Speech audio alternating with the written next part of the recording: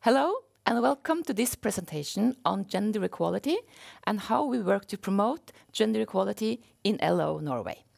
My name is Synnøve Konglevoll, and I work as a special advisor on gender equality politics. And I will start my presentation here. This poster is from the Labour Party uh, and the election campaign in 1933. This was a time of economic crisis with very high levels of unemployment. The trade unions mobilized workers uh, to vote to the Labour Party in the national election. And in this election, the Labour Party had a major breakthrough. This poster is kind of an iconic poster in Norwegian political history. And you see here the slogan that Uh, made this breakthrough uh, possible. It was the whole people working, and in the corner there, uh, you might see some of the similarity with English. It says, "City and land, hand in hand." So this is a very nice poster, but from a gender perspective, there is something about it that is lacking. I guess you can see it. There are no women in this picture. And the reason that I start here is because as part of my job, I often hold presentations for different international delegations who come to Norway and want to learn why we are so gender equal in Norway. And uh, therefore, I often start with this one because it is a reminder that also here we have a history where women's work was valued less, where women's work were seen as less important than men's work. And this is, both in Norway and globally, an underlying explanation why we still have to fight for gender equality. Yet Norway is one of the most gender equal societies in the world. Here, uh, illustrated by the ranking of the uh, Gender Gap Report from World Economic Forum. You see here that Norway is number three, uh, followed just just beaten by Iceland and Finland. Uh, this is also another important point that in all these different kinds of ranking, and the details may vary, the Nordic countries are uh, always in the top. Why is this the case? Well, I will point at three reasons. And if you have listened to uh, introduction and presentation on the Nordic model, you will recognize them. The three reasons is, first, that we are countries with high employment rates. This is pushed forward by the macroeconomic politics and government politics.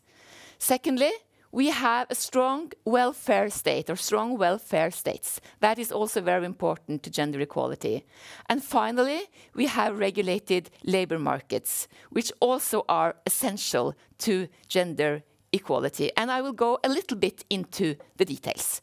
First, the high employment rate, because high employment rate also means means high employment for women.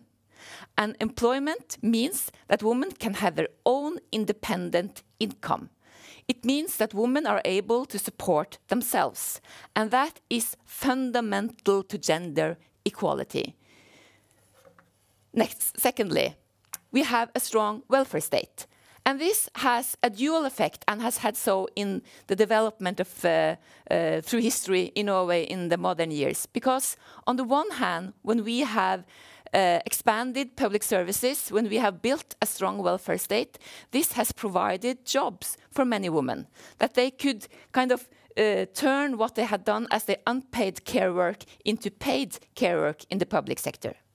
But secondly, it also, for all women, is important to enable women to both work and take care uh, of their family, to combine paid work with care responsibility.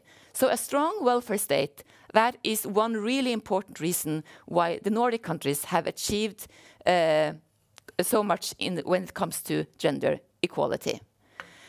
The third one, uh, and not the least, a regulated labor market. That is, of course, fundamental to gender equality.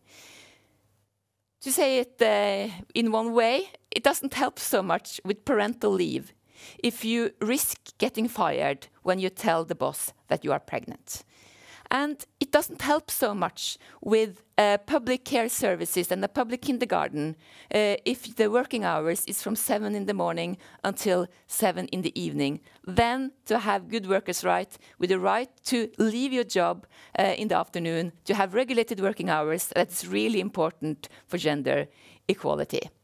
So uh, a regulated uh, labor market that is really fundamental to protect women against discrimination and to enable work-life balance for all.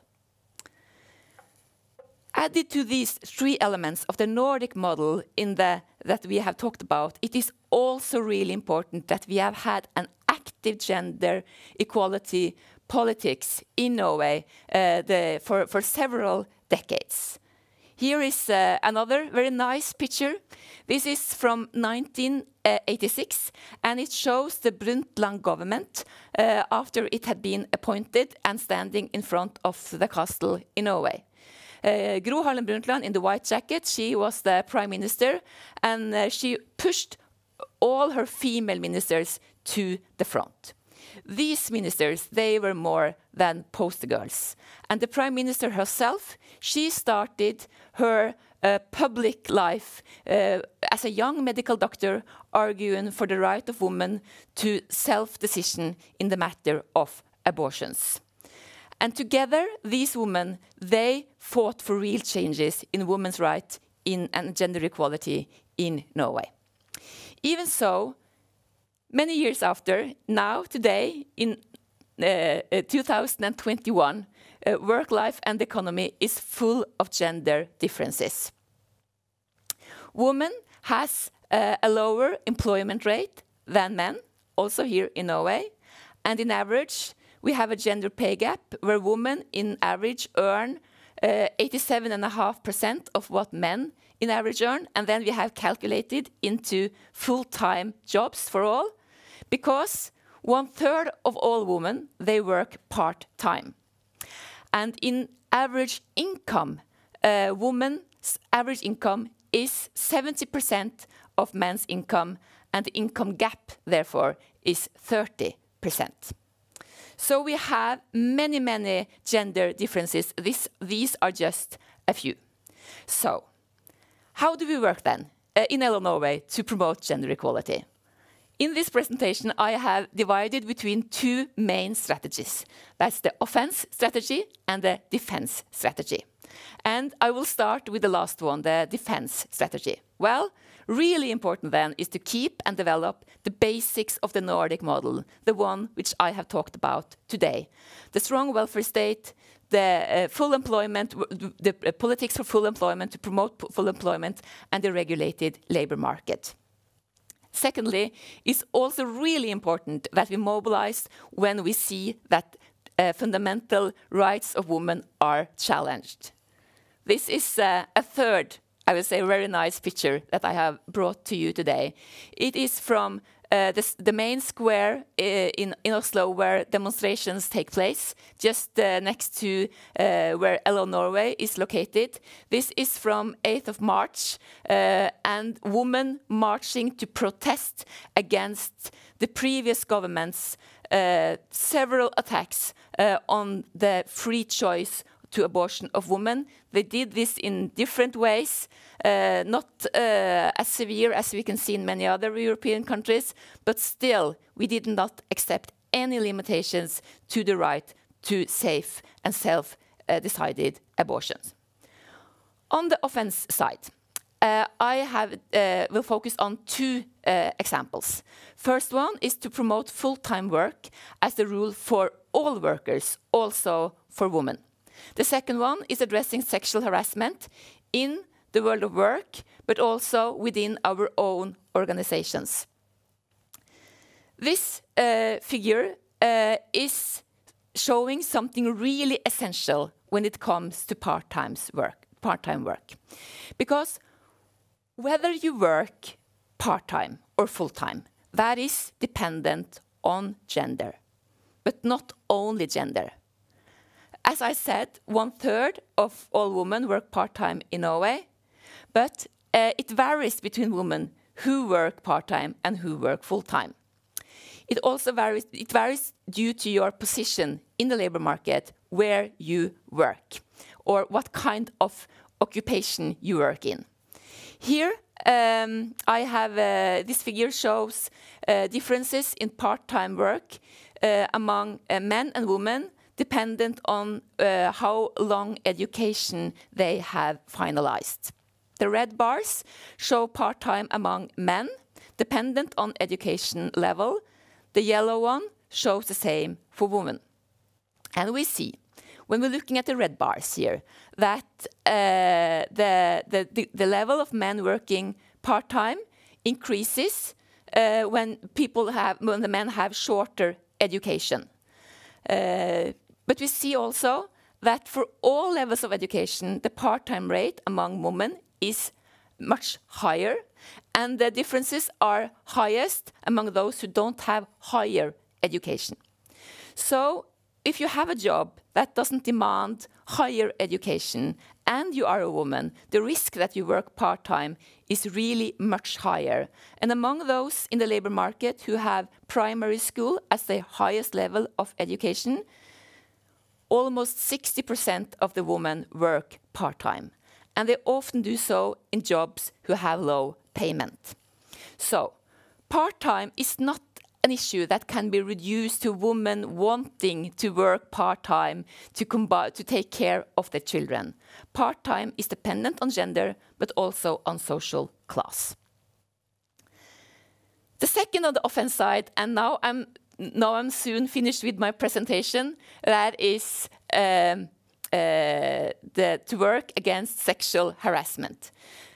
The Me Too movement in 2017 and 2018 was a real wake-up call also here in Norway.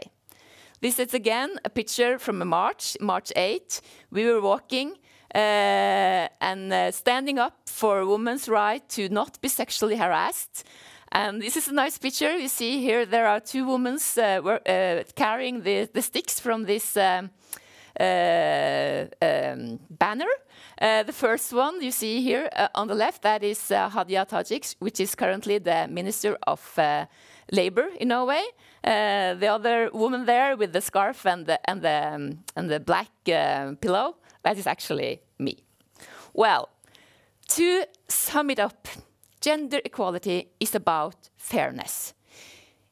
It is that work for all, when we talk about work for all, that must imply work for all, also for women.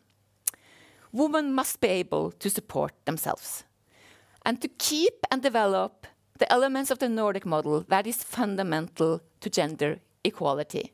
But we also need an active gender equality politics we need to acknowledge that women are yet still discriminated uh, because they are women.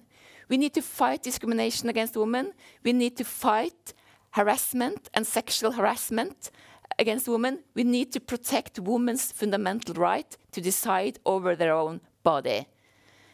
Because attacks on these fundamental rights can never be accepted. Thank you for your attention.